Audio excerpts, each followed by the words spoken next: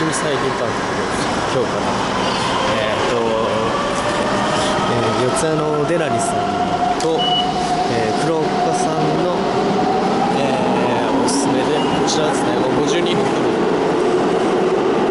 ほぼこれからこれでいくと思いますね。どこでも。あとはもしかするとエベレストのアタックよりもう一個容量が違うのが必要なのかな。いろいろと、えー教えていただきました。こ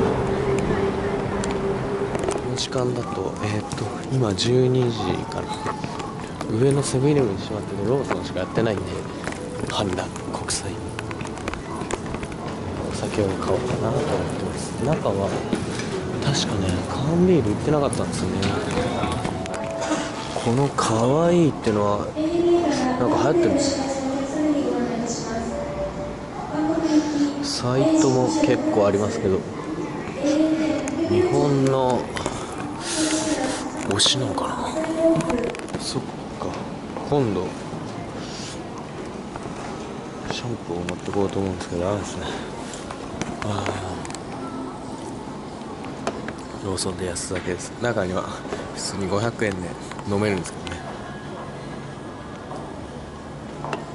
生が。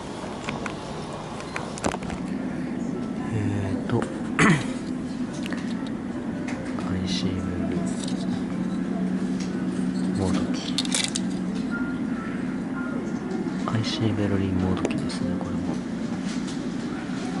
ドイツの IC ベルリンというメガネがあるんですがこちらはモード機です。要は偽物で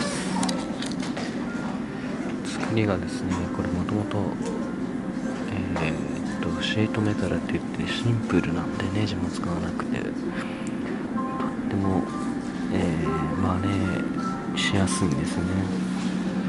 なんですえー、やっぱり出てきましたね。かなり多いです。IC ベルリンの偽物です。ただしですね普通に使えます。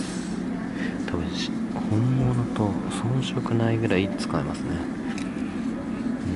うん、マットで何気にかっこよかったりもします。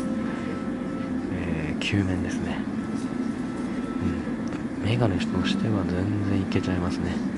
ただ IC ベルリンが一生懸命こういうものをですね初めてデザインしたんでそういうことを考えるとちょっとあんまりですよね。